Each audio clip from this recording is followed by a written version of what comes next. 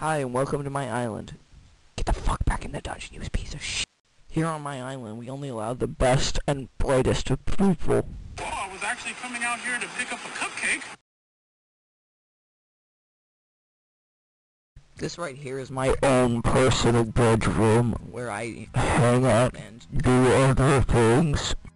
Hello, I'm the cops and I'm going to hang yourself.